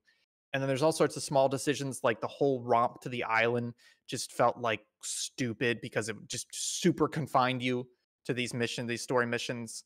Um, it also the fact that picking up items just becomes this like I got to look at an item and then like look around for the interact. Okay, I've got the interact. Okay, now I'm going to do the whole reach down and grab it and pull it and I gets very tired after 40 50 hours. Red Dead Redemption 2 just a very disappointing game for me. I'm not sure where I put it, but it's towards the bottom of the list. I want to hear your guys' thoughts. It's it's a rare example of too much game. There's just too Yeah. much game, and I'm and I'm a I'm a person with a job and a life. Like I just I don't have time for that kind of fucking bullshit, and it's not something that like if I if I put down if I put down RuneScape for a week, nothing has fucking changed. I can still click the game. Like it's it's a game where I click around. Uh, if I put down a JRPG or a Red Dead Redemption for a week, I pick controller up. I have no clue what the fuck is going on, and I've Yeah. forgotten how to how to do it, how to do the button. And like it'll Oh, yeah, come back. control- like Controls are awful. They're, they're, they're not great. They have so I many things mapped to different buttons, but it doesn't make a lot of sense. Like I, I remember, I feel like there's one button on the controller that is mapped to like three different things. So you can accidentally like pet your horse, shoot your horse, or like talk to a stranger with the same button. It's just weird stuff like that. Where no, yeah, I you're right. understand- Because I, I do remember I would go to talk to a stranger and occasionally just deck them in the face. Yeah, yeah. It's it's just so it's it's it's such an like a, a game with a lot of vision and it has a lot of effort put into it and that shows in a lot of places, but I think overall it falters. Will, I know you're dying to uh to fight us. I loved every second of Red Dead Redemption 2. I think it's Oh, a no. fantastic game. I I I hesitate to say I liked it more than one. Uh, one is an incredible game. Um, I don't think the story was as good as one, but yeah, I, I really enjoyed it. I enjoyed all the aspects of it. I completely understand the arguments. Uh, I think it was just a game for me. I like all of that stuff. Um, I I I've I feel like the only thing I didn't like about the game is they never utilized the entire map. Like it was just there to be the multiplayer map and include the original area. I don't know why they never really Yes. did anything with it, but um yeah, I really like that game. Uh I yeah. Fantastic. I um I think the game peaks at the uh, mission where you uh, go into the house and you have the cool walk up shot with all the guys lined up. Yeah, that's yeah. pretty good. I I wouldn't say I- I, bet from there, I think it's downhill. yeah, that's that's by far the best mission, but I feel like getting to that point I was starting to lose Yeah. it. I think Arthur's story is really, especially if you play him as an honest, rootin' tootin' good guy. Not a rootin' tootin' good guy, but a somewhat good mor- moral guy. I think his story Yeah. is absolutely crushing and Yes. good. Um, that second half of that game is kind of brutal with that stuff. Him sitting next to that nun and having the conversation is really good. There's some hard hitting moments in that. Uh, and I, not all of the epilogue, the heart of the epilogue is good. What they were intending and going for, and that uh, Yeah. Willie Nelson song's really great. Uh, yeah, yeah. Uh, The the choice, by the way, to have right? to have uh, music with lyrics in that game yeah. bizarre. Happens what Yeah. three, two, two or three times? It's two or three. Yeah, so I, think that's good. As someone who a lot of people complained about missing story moments and stuff in this game, and like uh, I remember Dan Ryckert saying he missed a whole musical section because he he raced across the not on a road or something. I will say I never got the uh, Jose Gonzalez thing in the first Oh, game really? riding to Mexico. I heard about that when Oh. people when Red Dead Redemption I didn't 2 first that was a coming missable out. thing. I, yeah, I never had that uh, the Mexico runaway train thing. So um, I, I, I agree. w- I agree with like a majority of what you're saying about these great moments. But for me, those moments they still hit pretty well. But it was a lot of swimming through crap to get to those moments. You Yeah. know, and and I think if I had to place this on the list, I I would put it at number 27, below Middle Middle Earth, Shadow of Mordor, but above Outer Worlds. And the reason why I say that is because there's still some interesting stuff in here, but man, by the time you get to the end of the game, even for all the good moments, there's just like you're saying, there's too much game, and a lot of it is mediocre. Sorry, you said below or above Middle Earth Shadow of Mordor? Below Middle Earth, Shadow it of Mordor. not that, worse than Middle Earth Shadow of Mordor. that Nemesis system, man, is insanely good. I have tried It to play that so game good. four or five times and I cannot get into it. Okay, here's the thing with that fucking game. I don't want to dig into this too deep. That the Nemesis system is great. That's about it. Other than that, it's just Arkham Asylum. But but that's fine. It's not a bad Arkham Asylum clone. It's no, just no, like, no. It's, a just very like a good yeah. It's a it's a good for its time open world game. Combat's good, world's good, etc. But then the Nemesis system, man, that just pulls you in. And that that's the thing I have with Red Dead Redemption 2 is that I feel like it has a lot of good story moments and it's well done. But the length of that game and how much generic mediocre content is in that game between those moments, that's why I would put it below Shadow of Mordor. But where where would you where would you counter with Who me? either? I Either. I'm not gonna get it where I want it, but for your sake, I would put it above Horizon Zero Dawn. I would put it below Horizon Zero Dawn. Yeah, let's go with let's go with below Horizon Zero Dawn. I'm you okay think with that. it's worse than Horizon Zero Dawn? Yes, I do. God, you're that's Actually- actually. No, because here's the thing. I'm not looking at Horizon Zero Dawn. I think that's misplaced. I I- I think it's worse than Grand Theft Auto Five though. I'll concede to that, even though I don't agree. I also agree that it's worse than Grand Theft Auto Five. Even though I, even though I like Red Dead Two more than Grand Theft Auto Five, I understand that I just don't like Grand Theft Auto Five, and that is a good game for a lot of people.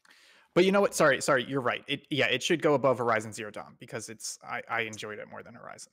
So yeah, But you want Even to put it below Horizon is Middle better. Earth. I know because I think Horizon is misplaced.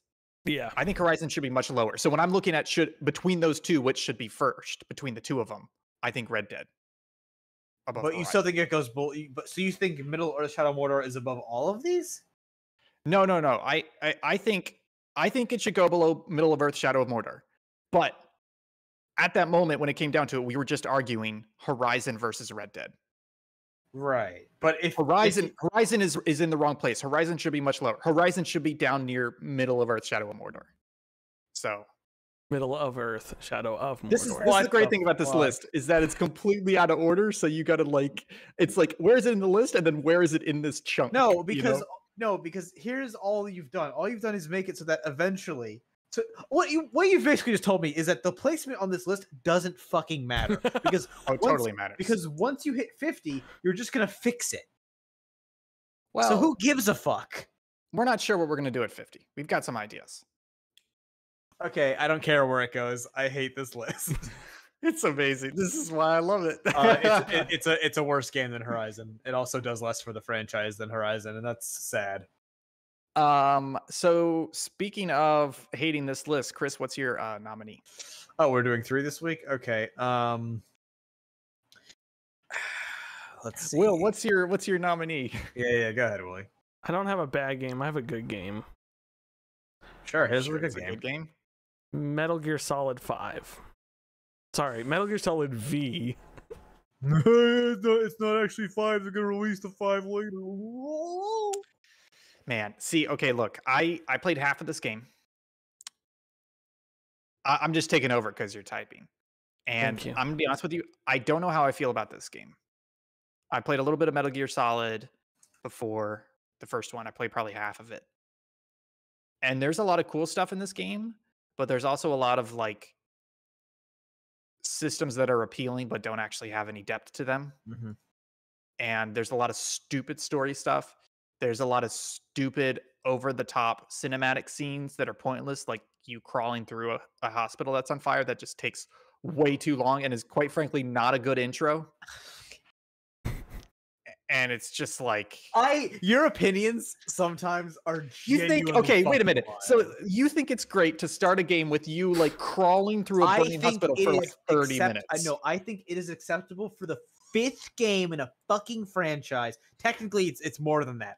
Uh, it's what actually the eighth because it came out Something after like Rage, that, right? yeah. and there's a bunch of acid there's acid one and two and all that That so- wasn't counting Acid or Ground Zeroes or anything like that. Um, whatever. I think it's acceptable for the fifth game in a fucking series to open with a long goddamn uh, story beat. For fuck's sake, you, you you said it's a bad intro. It's It's it's Kingdom the Hearts fifth lover. fucking game. Well, King, Kingdom Hearts 2's intro. is okay bad. but wait a minute wait a minute I, this is an, this that. is a genuine question the dude that shows up at the hospital you have no idea the the bad guy you have no idea what that is or what's going on right that that has nothing to do with the previous metal gear games at flaming at least guy? at that point in time at least at that point in time you yeah, have no idea No, you know who who It's that uh, is. it's it's it's Volgin, isn't it? It's Volgin from the third game. yeah. oh you already know He's that. Okay, very all right. recognized. I mean, you don't know it. You know it's. It You- looks you exactly are- like him. You, you are led to believe that via your knowledge on the Metal Gear series because Gotcha. this is the fifth game in the series. It's still a bad way to open it. It's a you talked about Bioshock Infinite having an incredible opening, and it's because they're introducing you to this very interesting world, these crazy things going on, and then you're exploring it, and you start to do these like little choice things, interacting with NPCs, and this is literally just like story dump on a cutscene, very well cutscene made cutscene, but then just this like really laborious like stealth section. It's not even like good Metal Gear Solid stealth. It's just like crawling. So it's little things like that throughout the game where I'm just like, I appreciate the effort, but it's not quite not quite pulling it off for me. Yeah, I would say Metal Gear Solid 5 The Phantom Pain is a good 75% of a game that is It's the, missing it's the greatest incomplete game. That's yeah, what I've it's the said greatest incomplete game of all time. It is one of, if not the best stealth game of all time. It has incredible quality of life improvements like infinite sprint, um, all sorts of things you can call in. The base mechanics are really cool. Uh, it- just everything is so well thought out and meshes together in such a great way that it's hard it's hard to accept that this game isn't perfect because it isn't because it just it didn't it didn't get there. It it, it is mired down the last half of it by harder versions of levels you've already done. Um yeah like i said an incomplete story an incredibly hot side character. Um, Um, I, I just want to incredibly- say, I, yeah, Kaz is hot. I did, I did enjoy my time with this game, but to bring up another problem I had with it was I didn't feel like any of the environments and maybe only a majority of the bases and locations were not compelling at all. Huh. You know, they were See, just kind of like all of it here's here's like a here's like a generic Afghanistan. Here's like a generic See, jungle type thing. I, I do like- feel like the areas could have used more building out, but honestly, I feel that way with probably Yeah. ninety-eight percent of open worlds. Uh, and Yeah. that's that's something to me that I always, I've always, I always prefer a, a, a well done level to yeah a to a to even a very good open world. and if the because- traversal was bad i would be more aware of it being empty but the traversal is good I, in that game. I'll tell you one thing. I'd rather I'd rather ride around the fucking uh, M- uh, Metal Gear Solid Five map than Red Dead, I disagree with that. and I like horses plenty.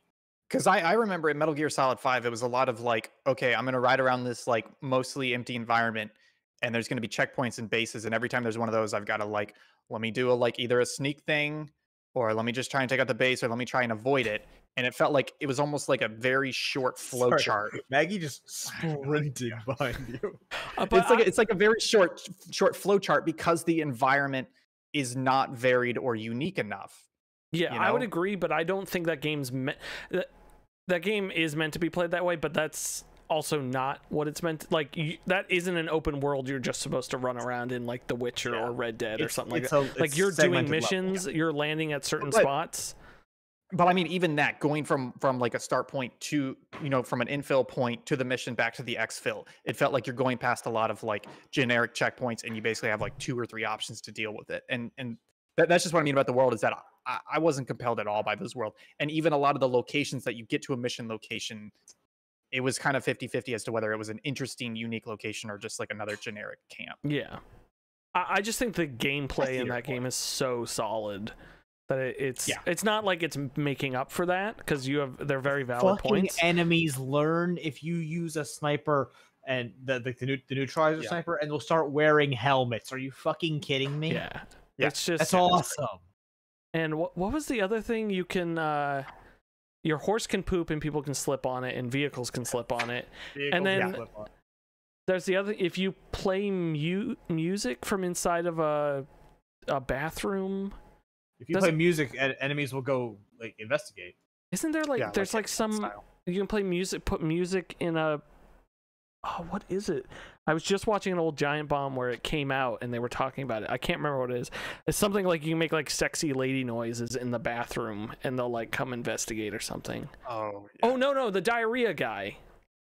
You can give Yeah. you can give Johnny? people diarrhea in in the game or something. That's what it is. Um anyways uh i i don't know where i would put it on this list. I think i would put it at i would put it new number 18 New number Ah. eighteen. I would put it. wow. I would put it at. I ooh, okay. Yeah. See, here's the thing. I like it more than Kerbal Space Program personally, but I'm just not a huge Kerbal guy. Uh, I definitely don't like it as much as I like Control or Ghost of Tsushima. Um, I'll put it above Mass Effect 2. I'd put it above Kerbal, but you guys won't go for that because you're marks for Kerbal. i mean i would put it above Kerbal. Okay, okay, I'll put it above Kerbal. I I wouldn't put it above Kerbal. I know you. I like. I like 18. You wouldn't put your own child above Kerbal. you like eight i'll agree to 18 I put Yakuza Zero. Actually, no, Yakuza Zero came first, but yeah. yakuza 0 is a Uh, perfect video game Um, should be number I- one I'll settle for. better than cuphead I'll settle for better than Mass Effect 2. It is. I don't know. It is. Because here's Uh, the thing, I I only played half of Metal Gear Solid Five. By the time I got to the halfway point, I was like, ah, I know what's going on here. And there's, there's is a that- bit is that the only Metal. Gear you don't do you even know the- the ending of metal gear solid 5 He's the worst. I- he's. I know the enough of it. Um, from spoilers, etc. But I, but uh, did, did you beat four? the, I've never beaten any of them. I played I half. know. I hate that so much. I'm not saying they're bad. I just I didn't have PlayStations. I didn't have PlayStations or GameCube, so I not didn't your play fault. them. That's, that's not your fault. Why haven't I let you borrow the collection? I may eventually, but I feel like I know enough. I know enough about them, and I've seen enough about them that it wouldn't. I don't think I need to play them. I don't That's a- think you a know statement for enough. I think you think you know enough. Yes, I think that too. I'm fine. I, I I I would fight for above Mass Effect 2, but I don't think I'm gonna get it. So fine, below I'll play them after Kingdom Hearts too. um, Chris, what's your game? So unfortunately, Ian just threw a tremendous wrench into my plan because I I have been good. I've been on this podcast multiple times, and I have never subjected you guys. I haven't subjected y'all to Transistor, have I?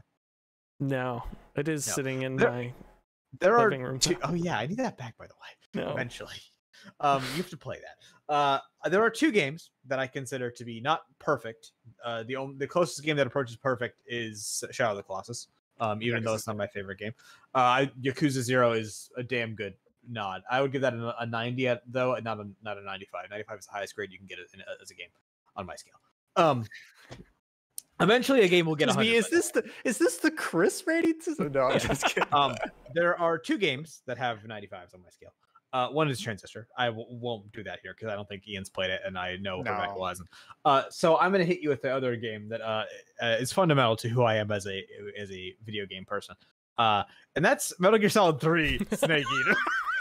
what a thrill! I'm This just so game happy. is fucking good. Oh, it's. I thought you were gonna say good. League of Legends. So No, what it's the already in the mobile I- quarantine zone. I tried to do that last time. You guys wouldn't let me do it. I have not played this game. I know a little bit Yeah, about it, so. I'm just I'm just gonna moderate. I'm just gonna moderate this. So so Chris, give us the pitch of this game and then tell us where you put it. this is my second favorite game of all time. My favorite game of all time is Transistor. This is a better game than Transistor, objectively. Subjectively, I disagree, but objectively, this is a better game than Transistor. Uh, it's fucking great. Uh, it does things that at the time when I was playing it as a kid, I didn't think once again was possible in a video game. The end fight is what I'm referring to specifically, among other things. There's mechanics in this game that are absolutely fucking brilliant. Uh, it's well written. It's cool as fuck. Uh, it features uh, six, uh, 12 shots, more than enough to kill anything that moves. Uh, the line, the lines are awesome. The music kicks ass. The fucking ladder scene is the best thing that's ever happened in a video game. Fuck you if you disagree. Um, all the characters are great. Are you queuing up Snake Eater?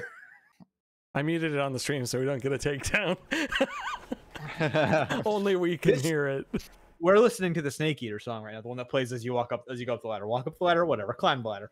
Um, and it fucks because it's awesome. Oh, it's Um, so good. I love this game. It, it the the CQC the the controls of it are so fucking good, especially for the time. I mean, like I'm sure it wouldn't hold up comparatively now to like what we're used to, but for the fucking time, it was insanely smooth feeling. I will say, Sorry, I, I'm, I'm I was I'm blown away. The song is just it's so my train of thought How much? entirely. How much James Bond did he watch before that song? That's Oh, the thing. Games should have Bond songs. It's Snake Eater and Deathloop. That's it. Chris, I played two, three, and four in 2018 before I got my job at Reward the Fan. And I also referenced that on stream tonight. three was the only one I played through start to finish without ever checking a guide. It played Yeah, so Yeah, well. I, I will say that actually, as a kid, I remember because I used to be a huge like I'd go on game FAQs and stuff like that. I I beat that game in I had it over the summer. I played that game. I think it was I played it for like three days nonstop because I was a fucking nerd. Um, and uh, I I never like had to, I never went and like looked at cheats or any like looked for like stuff like that. I just I literally just sat down and just experienced the fucking video game, and it was glorious. Yeah, there's still moments where like stuff messes up or like it, you know it's an older game, but yeah, playing through that game in modern times was super easy and seamless. Uh, It wasn't like one or two where it's like I have to remember, oh, this was a PS2. What are, what are the Yeah, controls and this stuff? item is Like- very important. Don't Yeah. waste it. Yeah. And even even four, I mean four, I didn't really have to check a guide either, but yeah, definitely. I have mixed opinions about four. That's why I didn't bring it up. Yeah, four's. Uh, So where where's it going? Four's a movie. I mean, I'll put it anywhere. Do you want a Okay, new number I- one? I'll put it there. I'll put it. I here's the thing. For me, it's better than every single game on this list. Oh, I Um, mean, not no, I would- Yakuza I- Zero, but I would say the only games that I think thing. can rival it in quality are Yakuza Zero and Kingdom Hearts 2. And and I put oh no, I, I didn't put Firewatch on here. Jake did. Wow. Um, I personally think it's better than Yakuza Zero. I look, look, look. I've loved the Yakuza series since I was a kid playing Metal Gear Solid. That's why I played Yakuza 2 and then went back and had to play Yakuza 1. Don't worry about it. Um, I fucking adore Yakuza. Metal Gear Solid 3 is a better video game. I don't know, man. Zero and is Zero very very is good. Zero is Zero isn't a perfect game, but it is the best possible game that could have been made with the Yakuza franchise. They cannot Yeah. do better than that. They will not do better. They haven't done better prior. Even though Yakuza 7 Like a Dragon kicks the fucking ass, Yakuza Zero is the perfect Yakuza game. I yeah, like I like Red Dead. It is a lot of game, but like ninety nine percent of it That's a lot of game. Really good. Is really good. yeah, Yakuza Zero's. So that's I look again. I've not played Metal Gear Solid Three. I'm deferring to you guys. I think the only game on this list that I would fight to be above it is Yakuza Zero. Well, I think we can settle this uh, in a in a civil manner. I, I think you, we'll have a way of deciding Yeah, this. new number one. okay, I'm down. Uh, I What, what, what is your genuine opinion on on the Yakuza versus Metal Gear Solid? Oof, I so I played both of them within the last three years. I and Yaku, Yakuza Zero is just so good. I I honestly feel like this is actually inadvertently a really, really good comparison of games because both of them are. No, no, no, no, no, not your system. The whole The- list, yeah. The whole the, list, yeah. the concept of Yakuza versus Metal Gear Solid because they're both games that ha- have incredibly ridiculously serious stories with goofy bullshit thrown in Yep. like uh, uh, as the padding. Yeah. Uh I'm gonna say Yakuza Zero is a better game. It's more fun. Yeah. I would so what that means, you know, not to bring up the argument, but I would go play Yakuza Zero right now. Oh no, I would go play Snake Eater right now too. Just load up the ladder. But I Uh, do like the idea of Metal the Gear Solid the first, 3. the first jungle mission, though. Oh my god, it's such a good introduction. I do, I do like MGS3 is the new number three. That is very good. Very Um, small argument. however, I, I will I will give you the counterpoint. You can wear uh, American flag face paint in Metal Gear Solid 3. You How can about- also wear Can I flip? A, half can we flip a America and half coin? I have a crazy idea. I have a crazy idea. All right. I know we're getting a little late here, but I I think we put Metal Gear Solid 3 at number one, Yakuza Zero at number two, and we quickly remove we quickly move Outer Wilds to a new spot. Oh, I'm into that. I would do that. So hold on, hold on. The play here is you could Number one, MGS3. Okay. Number two, Yakuza. Outer Wilds, we do a quick move. Okay, here's what I would propose. We all give a number for Outer Wilds. It's the average between those three numbers. That's it. That's how it works. Oh, that's evil. Yeah. I think I'm okay with that. I, again, look, I love my hot takes, but I take this rating system very seriously. So I, not I can't. That that's the hottest take of all. Okay, so we'll each say a number at the same time. Okay, Wait a me- minute, wait a though. I I just want to say, my Chris. I don't know if you watched the episode, but I ultimately judged Mass Effect 2 after I played it, and I moved it to exactly where it was. I, Is it really? yes, That's yes. impressive. So Also, Um, Ian, I don't know you- if you saw you- this update, but Elise, at least in the SaveData Discord, officially said that Mass Effect 3 is better than Mass Effect 2. See, Elise said that, and honestly, I haven't. We stopped playing the remaster because one is actually really rough. Um, I thought I I started playing one the remake. I was like, it's not that it's not that rough, and then it gets rougher, and I was like, oof. Um, but I, I honestly, I've had the opinion so long that two is the, the best game in that series. Uh, I think I think she might be correct with that though. Um, oh, about three? Yeah, but I, I've I've Oh. felt that two is the best one for a long. Okay, so they're gonna say one. wait. Let's sorry, say our sorry, sorry, numbers sorry. here. Outer one is the Wilds. Okay, give me a second. I gotta look at this list. Okay. Outer Wilds. So you've already okay. You uh, so I'm accounting for Outer Worlds being moved already. I've taken it out completely. yeah. Math So we just want the number you want it at, and then we'll take the average of the three. Which I don't know how that works, but What? What? how to? Oh, you add them up and divide by three. I'm, I'm Divide by idiot. I literally just Yeah. figured it out as I said it. You know why? You know why that I was trying to figure that out. I was You were thinking, of thinking like two numbers and halfway. So Do a median. yeah. Uh, okay, are we ready? I have, I, I have my number. Oh, should we write it down and hold it Um, up? You think, or should we all just yeah, say it I at the same time? I I don't have anything local. Okay, so Uh, you no, I say do, it I do. and we'll I, hold. I can write it. Oh, okay. Um. Okay, give me a second. I'm not actually set yet, but okay. Um. Oh boy, this is too Wait, much what number is it? Hold on, I forgot. Um. Uh, wait, hold on. If I put it at a number, is it going to bump the one that's at that number? You're up or putting down? it. Uh, the one you're would- it would- replacing goes down. Okay. yeah. yeah, it- of course. Yeah, that makes the most sense. Duh. yeah. So if you say 24, then Yeah. the current 24 becomes 25.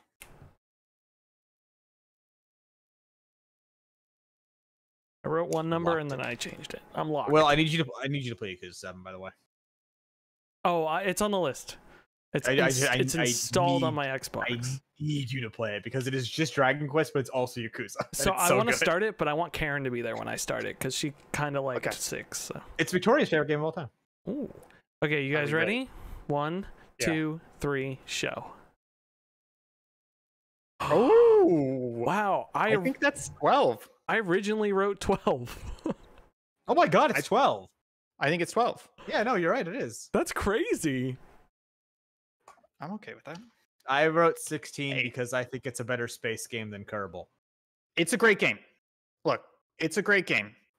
I think just some of the, the some of the it's so well constructed that some of the flaws become super frustrating, even though they're not that big of a deal because of how well constructed. it is. I I just thi- I think I think it's fun. I think it's cool. I think it's unique. I don't think it's as good as people think it is. Mostly Zach. yeah, it's a, it's a little it's a little overrated, but it's got it's it's it's still number I. I, it might be because for me it has Undertale effect where I when I finally got into playing it, everyone was like, "It's God's gift to creation." I'm like, "It's fine. It's, it's a good game." Elise Yeah. is not happy Yeah. in the chat. it's very good. But I just want to say It's number 12, but if you look at the 11 games ahead of it, every single one of them is a banger. At least So Outer Wilds 2 can be a I'm banger. just removing competition for you to get Cage 2 in the top spot. Cage It 2 will will never be better than That's those three games. I'm so sorry. Man, if you Uh, asked if you asked like like 14 year old Chris what was a better game, Kingdom Hearts 2 or fucking uh Metal Gear Solid 3, I think I would explode. I yeah. think I would malfunction. So before we close out Oh. here, I just want to say we are at number 44. We have 44 games on this list. If we do three games per episode, which is what we've been trying to do, we only have two episodes list left. List left. List left to finish this list. right? And then we will be doing something with it. We don't know yet what. Burning it, hopefully. But Hopefully. not honestly not a bad idea. Print it out, poster size, burn it. Um, we've got some ideas. We'll let you know. So just get excited. This list is not going to be around forever. Two more episodes, folks. Oh no. Folks. I just want to say real quick, I'm not on the podcast next week, and I'm terrified because every time I'm not on here, you chuckle fucks put some shitty games where they don't belong on this list because I'm not there. You guys are like, oh yeah, yeah, I guess it is the greatest game of all time. Let's put it all the way up Yeah, there. sneak, Oh, sneaking is just better so than Factorio. This is so yeah, easy fact- without yeah Ian here. I, I don't need to hear anything from the man who has Factorio at number six. Thank you for your time. Hey, Factorio's an excellent game. Um, It is. Folks, uh, if you enjoyed this, please go to anchor.fm slash local chat and think about supporting us. That would be fantastic. I have been your host, Will Crosby. Joining me today was the one and only Ian Gibson and Chris from SaveData. Um, Save the top. Save Data. Next week, I have no idea who's on the show, so that'll be fun. Probably David. Um, so yeah, let's uh, and Elise, make yourself free. David and Elise show. Um, there, I just figured it out. Hearts 2, number one. Oh no, they're gonna pack Kingdom Hearts. on it. They're gonna put the rest of the Kingdom Hearts games on this list. No, we're gonna put hentai games at the top. Al Um, folks, Honey, honey, please uh, check out our YouTube channel, subpixelfilms.com. We'll bring you straight there. You can enjoy that. You can enjoy all sorts of things, including my hot, hot body. Uh, Monday, hopefully, is a new show coming out. I got to work on that a bunch tomorrow because I'm away this weekend, so that'll be fun. But we might also end up moving it. So who knows, folks? Uh, Ian's about to check it, and then he's going to realize what it is. But until then, we will see you all next week. Oh.